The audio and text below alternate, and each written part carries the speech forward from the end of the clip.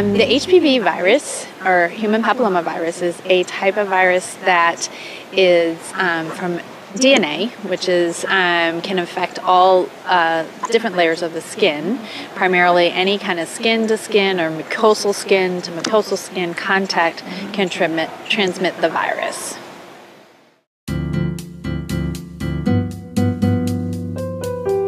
Yes, um, is very common um, transmission between men and women, or um, in any kind of primarily sexual contact is how we um, see the transmission.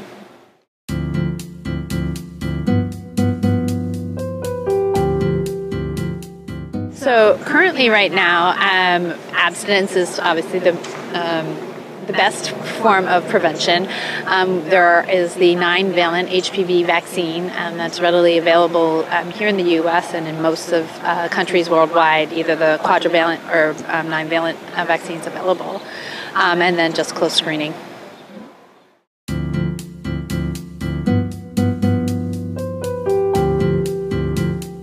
While attending ICNIM, which is an international conference on integrative medicine, I saw many presentations on the benefits of the immune modulation of AHCC to clear other um, very um, virulent viral infections. And um, since I work in gynecologic oncology, found that HPV is our biggest challenge.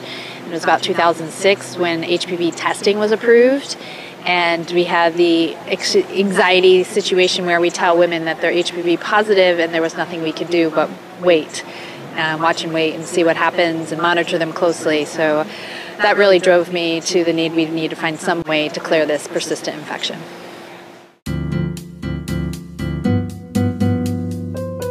As a lot of the participants asked today is are we measuring or looking at the anxiety levels that are being brought down by eradicating HPV infection, which um, is something as healthcare professionals we have a challenge in managing. When you tell someone they're positive with a virus that causes cancer, it creates a lot of anxiety. And so by eliminating the virus that causes cancer, we're obviously decreasing those anxiety levels. So the faster we do that, the better. It's been a little over 10 years. 10 years. Yes we went from bench to bedside. We did a lot of preclinical work um, that then evolved to animal work um, and then evolved to two pilot studies and now this phase two double blind placebo controlled study.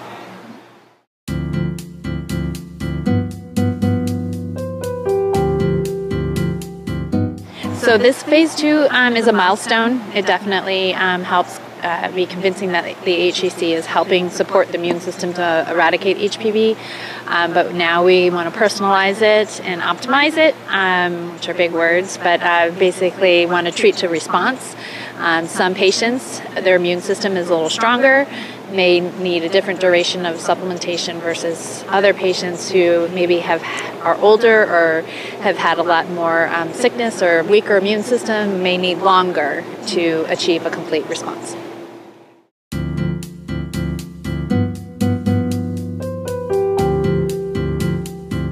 My message, um, well, my message would be that you know AHCC is a nutritional supplement that's readily available.